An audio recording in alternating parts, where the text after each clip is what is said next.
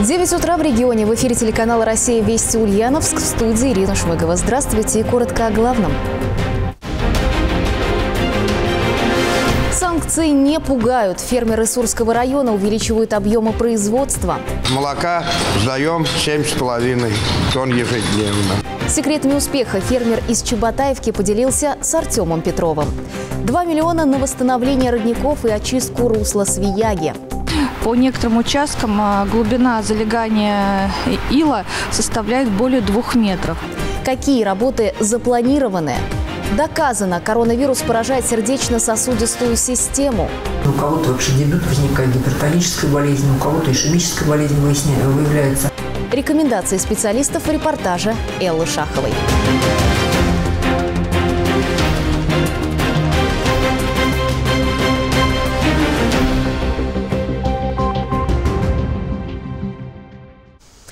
Итак, новый сезон аграрий региона готовится встречать в условиях санкционных ограничений. Почувствуют их те, кто изначально делал упор на западную продукцию и комплектующие.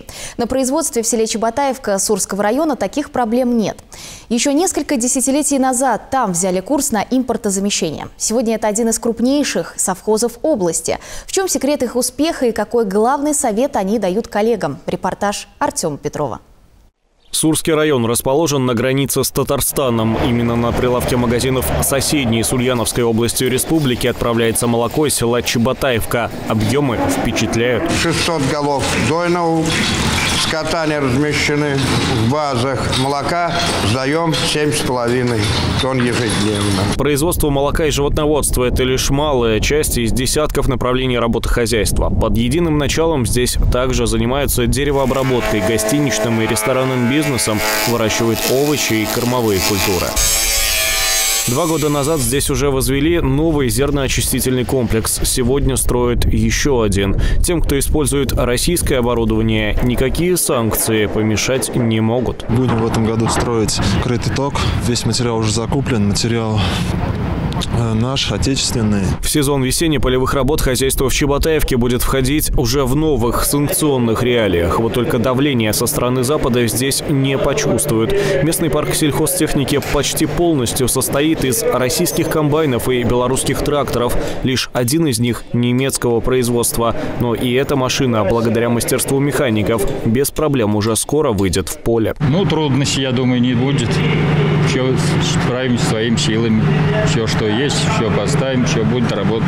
На складах Астрадамовского пищекомбината продукция ждет отправки в различные магазины региона. Пока кто-то пытается нажиться, неоправданно завышая стоимость отдельных категорий товаров, здесь ценник принципиально оставляют на прежнем уровне. Самые популярные свекла гарнирная, пюре яблочное и пюре из тыквы. Все овощи используем местного, местных производителей, наши российские. В Чеботаевке не только обеспечивают работой местных жителей и производят самые разные виды продукции, но также подают другим предпринимателям пример социальной ответственности. А это Чеботаевский сельский дом культуры. Раньше здание отапливалось дровяной печью, но теперь ни о каких занятиях в куртках речи не идет. Дом культуры согревает газовое отопление. Решить целый ряд проблем помогла программа местных инициатив и спонсорская поддержка местного производителя. Преобразилось все и стены, и полы, и самое главное, сделали отопление. Сохранил Чеботаевское предприятие и задал ему новый курс развития Николай Лаврушин. На посту директора он уже 38 год. Все это время Николай Иванович строго придерживался правила заботиться не только о бизнесе, но и о людях. Под его крылом предприятие прошло через десятилетия и сегодня является одним из крупнейших в регионе. Санкционное давление здесь не заметит как раз-таки благодаря курсу на импортозамещение. Этот год она не коснется, а осень и следующий следующий год, если мы не сделаем замену, вот, что оттуда возили, это коснется. А для нас, вот для нашего хозяйства вообще ничего не коснется. Единственное, что коснется, это вот безобразие цен, значит, на запчасти, на техобслуживание, на масла. Успех Чеботаевки кроется в простой истине. Приоритет отдан российским производителям, чья продукция не уступает импортным аналогам. Артем Петров и Денис Миронов. Вести Ульяновск из Сурского района.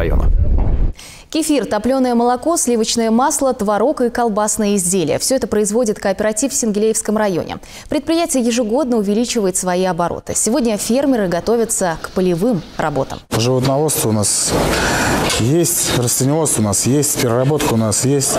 Все это свое. Как бы в каких-то иностранных покупках мы не нуждаемся особо. Живем в деревне, выращиваем свои овощи, да, грубо говоря, свое мясо. Технику кооператив успел обновить еще в 2018 году. Тогда они получили грант на 3 миллиона рублей. Также сотрудники сообщают, что запчастей на ремонт сельскохозяйственных машин хватит на два года. Тем временем на транспортных артериях областной столицы круглосуточно латают дыры. Ямочный ремонт на дорогах Ульяновска ведут пять бригад ночью и днем. На ближайшие дни распланирована реставрация дорожного покрытия на проспектах Врача Сурова, авиастроителей и 50-летия в ЛКСМ. В переулке Комсомольском на улицах Энгельса, включая раскопку Ульяновского водоканала, Льва Толстого и Октябрьской. Асфальт укладывается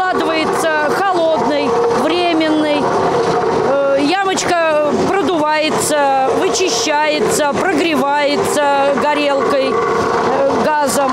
Потом укладывается с рециклера горячий асфальт, который уже в нем заранее был загружен и разогрет. На горячий асфальт практически, но он временно. Работаем как литым, так и холодным асфальтом. При наступлении благоприятных температур, как только пустят в эксплуатацию асфальтосмесительную установку, мы сразу приступим уже к работам по ямочному и карточному ремонту, уже горячему асфальтобетону. Городские дорожники литым асфальтобетоном отремонтировали около полутора тысяч квадратных метров дорог, холодным более 600, расход материала составил более 70 тонн. 2 миллиона рублей на восстановление родников будет потрачено в этом году. Это продолжение областной программы по реконструкции источников воды. В прошлом году, например, благодаря ей только в Ульяновске благоустроили три родника – Сахарный, Белый Ключ и Маришка. На последнем заменили кирпичные кладки, восстановили один из колодцев и сделали скамейки. Кроме родников, сотрудники природоохраны запланировали в этом году очистить русло Свияги в городе от Вырыпаевки до Минаевского моста. По некоторым участкам а, глубина залегания ила составляет более двух метров. А данный ил будет изыматься, высушиваться. На сегодняшний день городом уже отведены площадки для накопления данного отхода. И в последующем данный ил будет направлен на утилизацию. Кроме того, в рамках а, данных работ будут проведены мероприятия по э, благоустройству прибрежной территории. Кроме очистки Свияги, на этом участке предусмотрено восстановление флоры и фауны водоема. В реку запустят малька, а зеленые зоны на берегах перейдут под охрану ведомства. Председатель партии «Справедливая Россия за правду» Сергей Миронов заявил, что его фракция в Госдуме предлагает снизить НДС до 15% и увеличить порог расчета максимального дохода для самозанятых до чуть более 3 миллионов рублей. Выступая на брифинге перед пленарным заседанием, Сергей Миронов рассказал о том, что депутаты фракции направили на отзыв правительства Российской Федерации две законодательные инициативы о снижении НДС с 20% до 15% и о повышении максимального разрешенного дохода у самозанятых до 3 миллионов 200 тысяч рублей в год. По словам парламентария, депутаты партийной фракции уверены, что снижение НДС приведет к общему снижению цен. Что касается второй законодательной инициативы, то Сергей Миронов напомнил, что фракция ранее голосовала против введения института самозанятости. Но сегодня, коль скоро закон есть, цены взлетели, норма максимального дохода у самозанятых в 2,4 миллиона рублей в год, скорее всего, будет перекрыта и тогда они будут обязаны уже регистрировать юридическое лицо и платить гораздо больше налогов. У нас конкретное предложение – увеличить этот порог расчета максимального дохода для самозанятых до 3,2 миллиона рублей, подчеркнул Сергей Миронов. И к другим темам. Ковид атаковал планету два года назад. Человечество ведет с ним борьбу с переменным успехом. Жертвами этого вируса в мире стали миллионы людей, а выздоровевшие нередко сталкиваются с последствиями этого недуга. Часто страдает сердечно-сосудистая система. И в этом случае людям необходима реабилитация. Элла Шахова продолжит. Как показала практика, одной из наиболее уязвимых для ковида оказалась сердечно-сосудистая система человека. В Ульяновском кардиодиспансере после перенесенной болезни прошли и еще проходят реабилитацию около 200 пациентов. У кого даже была скрытая какая-то ситуация, не диагностированная, то есть даже пациента не был еще пациентом кардиологическим, выявляется много болезней, у кого-то вообще дебют возникает гипертонической болезни, у кого-то ишемическая болезнь выявляется. То есть фактически ковид, он проявляет, в общем-то, даже вот скрытые какие-то болезни. Сатурацию мерили сколько было? 95. Без кислорода. Угу. Пульс как? Пульс нормальный. Угу. Как общее эмоциональное состояние? Тревога какая-то есть? Да нет, тревоги нет. Наталья Томобекова сейчас находится в реанимации областного кардиодиспансера. Сюда она попала после ковидного госпиталя, вернее, прямо из него. Тяжелое течение болезни дало осложнение. 56% пораженным поражение было. Я 10 дней не помню лежала, как потом очнулась 10 дней. На боку вся, вся уже никудышня. Выкарабкалась, слава Богу. Господь не оставил меня там. Там не желаю никому быть, конечно. Очень страшно. Очень страшно все это. Ну, вот так вот. Почему страшно? Ну, не знаю. Многие не выдерживают уходят люди. Наталья Томобекова не перестает благодарить медперсонал и ковидного госпиталя, и кардиодиспансера. Говорит, вытащили, помогли. Специалисты отмечают, что последствия пережитого во время болезни бывают и психологического характера – неврозы, депрессии. Здесь с этим также стараются помочь, например, арт-терапией. Ну вот даже по этому рисунку можно сказать, что здесь вот с эмоциональной сферой более-менее все нормально, потому что рисунок полный, угу. Яркие краски. То есть очень важно, это вот тоже оно эмоциональный фон повышает. Арт-терапия, она очень хорошо снимает как раз вот эти вот страхи, снимает э, боязнь, неуверенность. То есть эмоциональный фон, он становится более светлым. А чтобы помочь работе сердечно-сосудистой системы в качестве реабилитации после ковида, пациенты кардиодиспансера получают здесь электроимпульсную, а также магнитно-импульсную физиотерапию, физлечение, массаж и даже кислородный коктейль. Теперь опять обе руки и вращаем. Раз. И два. Элла Шахова, Денис Миронов, Вести Ульяновск. Цифровизация медуслуг приобрела особую значимость в период пандемии. Она помогла освободить врачей от бумажной волокиты, сократить очереди и избавить пациентов от необходимости посещения поликлиник для получения справок. Только в прошлом году к интернету было подключено 330 фельдшерских пунктов, а в поликлиниках появились информаты. Также появилась возможность получить электронные больничные свидетельства о рождении или смерти. В сети появилась централизованная система лабораторных исследований, которая позволила информировать граждан о результатах результатах ПЦР-тестов по телефону. Разработана система виртуального мониторинга онкологических и сердечно-сосудистых заболеваний пациентов. Для удобства населения открыт Центр телемедицины, созданы дистанционные колл-центры в лечебных учреждениях. Из-за роста обращений в регистратуры разработан чат в приложении Telegram. С помощью бота ульяновцы с признаками ОРВИ или COVID-19 смогут получить рекомендации по оказанию медпомощи, уточнить адреса медицинских организаций, записаться на вакцинацию или прием врача, вызвать его на дом. Все это позволяет повысить доступность и качество оказания помощи пациентам, дает возможность анализировать полученные данные и осуществлять ретроспективный контроль, прогнозировать тенденции развития ситуации, а также выявлять группы пациентов, требующих наиболее пристального внимания и коррекции лечения. Это «Вести Ульяновск». Мы продолжаем выпуск. Знакомьтесь, минералы. Выставка с таким названием открылась в выставочном зале Музея археологии Симбирского края. Здесь можно познакомиться с разнообразием камней и изделий из них, как декоративных, так и прикладных, а также украшениями, сделанными как местными мастерами, так и общероссийскими. Из интересных изделий стоит обратить внимание на ониксовую декоративную вазу XIX века, произведенную в Западной Европе, а также на панно, изображающее вид Казани, подаренное музею в 2003 году. И также на сутажные украшения местного мастера Марины Викторовны Курылевой. К минералам проявляют интерес коллекционеры и ювелиры, ученые и обычные люди. Вокруг минералов возникли мифы и легенды, рождались невероятные истории. Ведь самоцветы всегда собирали собирали вокруг себя поклонников, поэтому не является странным тот факт, что минералогические коллекции со временем стали одними из самых интересных и желанных для многих ценителей самых разных стран. В экспозиции представлены уникальные камни, такие как рубин, огненный опал и другие. На выставке предметы как из фондов музея-заповедника Родина Ленина, так и из частных собраний. В коллекции где-то около 600 образцов. Там входят минералы в основной части, горные породы, окаменелости, ну, немного метеоритов. Из класса баратов минералы идут. Вот они самые редкие считаются. Есть один из минералов в книге рекордов Гиннесса по редкости. Познакомиться с многообразием видов и разновидностей минералов, изделий и украшений из них все желающие могут по адресу улицы Льва Толстого, 67. Выставка продлится до 20 ноября. Жаворонки прилетите, студену зиму прогоните. На Руси этих птиц начинали зазывать со дня весеннего равноденствия. Сейчас, если весна запаздывает, можно и просьбу повторить, что и сделали в мостовой слободе.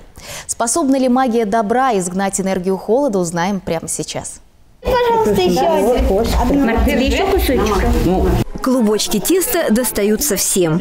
Шумные и одновременно сосредоточенные дети творят весну. Ну, сначала, конечно, надо испечь жаворонков, а весну потом эти птицы на крыльях принесут. Разумеется, пришлось прийти пораньше, поставить тесто, поскольку тесто капризное, должно подняться, его нужно обмять, а садить оно должно еще раз подняться, потом уже начинаем его разделывать.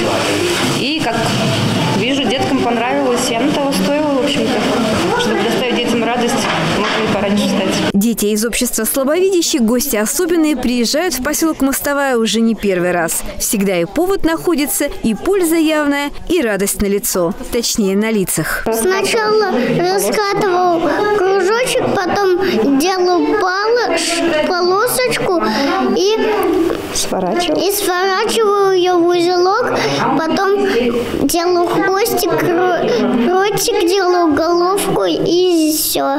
Слепые могут не только программирование, массажирование, так сказать. Могут еще и в пекарское дело пойти. Возможностей много. И не нужно как бы говорить, что, не знаю, я слепой, поэтому все, на этом жизнь закончена. Нет. Да и вообще для других инвалидов тоже нет. Кстати, у православных христиан тоже есть обычаи петь жаворонки ко дню памяти 40 святых севастийских мучеников. И эти птицы символизируют летящие к Богу души или их молитву, которая обязательно будет услышана. Мостовая всегда для всех открыта. А то, что здесь еще пекарня, потому что здесь выпекается хлеб, мы раздаем нуждающим. В настоящее время уже больше 20 тысяч буханок нашим подопечным хлебом. То, что проводят такие мастер-классы для детей.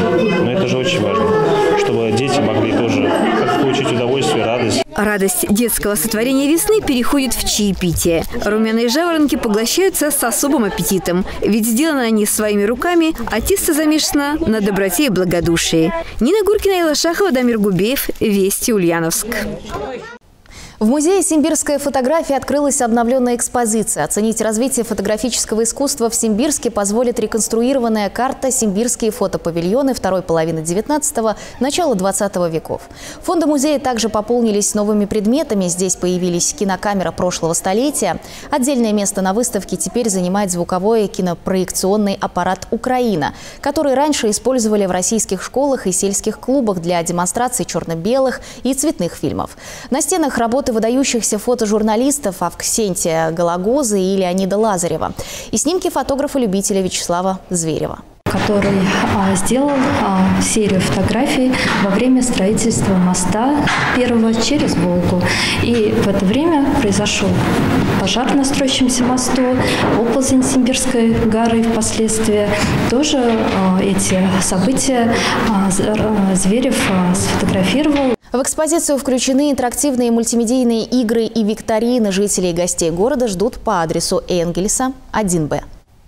В Ульяновске заработала необычная мультимедийная мастерская. Это стало возможным благодаря денежному гранту. Его выиграла городская централизованная клубная система в рамках конкурса. Что же готовится на новой творческой кухне? Об этом в репортаже Эдуарда Истомина. На Октябрьской 15 ведутся съемки. Здесь работают над созданием фильма об известной симбирянке, благотворительнице Екатерине Перси Френч. Одну из сцен посвятили визиту к ней архитектора Августа Шаде с чертежом Гончаровской беседки. Господин Шаде, с чем пожаловали? Угу. С чертежами. Но сейчас я вам покажу все. Ленту о Перси Френч посвятили Международному женскому дню, а еще Дню работника культуры. В фильме задействованы начинающие и самодеятельные актеры. Массовые сцены сменяют старинные романсы. Съемки ведутся на фоне хромакея. Как две звезды сквозь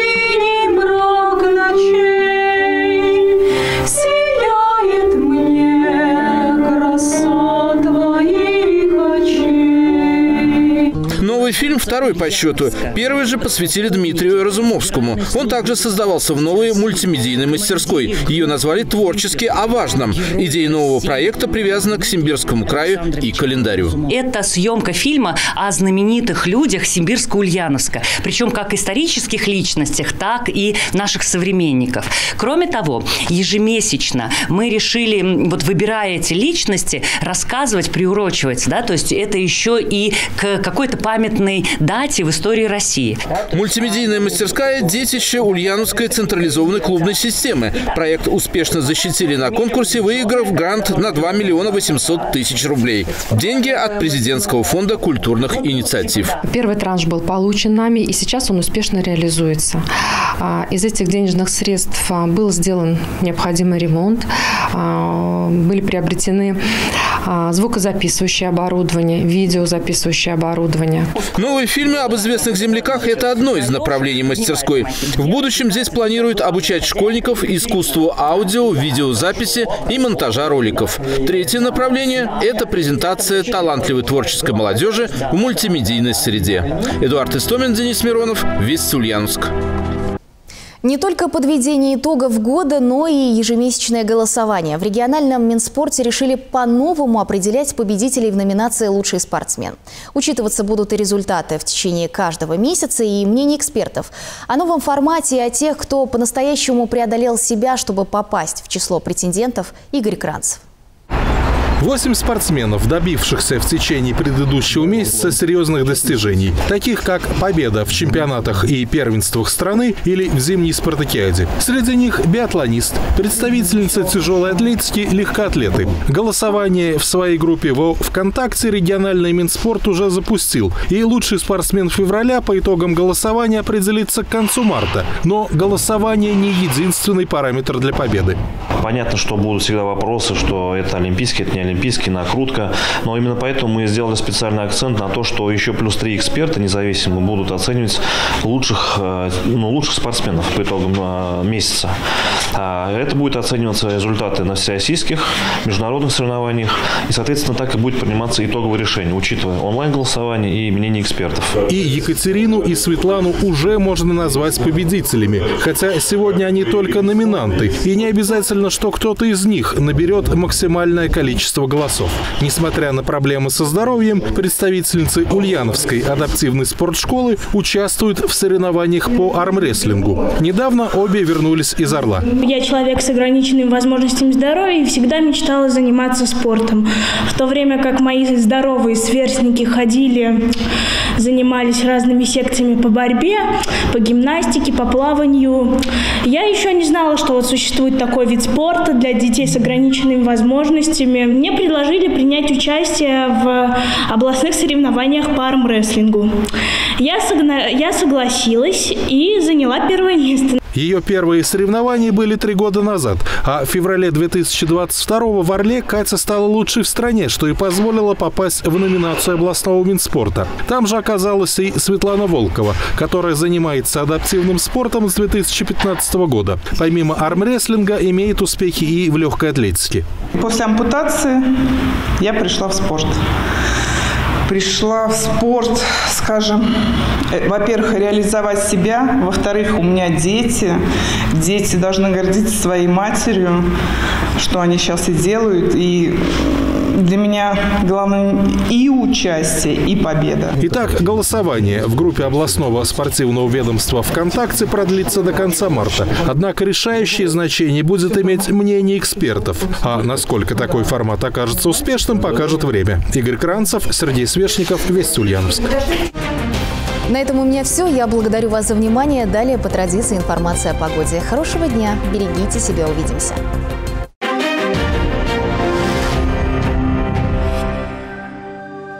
Сегодня в Ульяновской области ожидается облачная погода, небольшой местами умеренный снег. Атмосферное давление будет слабо расти. Ветер западный, умеренный до сильного. Температура воздуха днем по области минус 1, минус 6. Ульяновске 1-3 градуса ниже 0.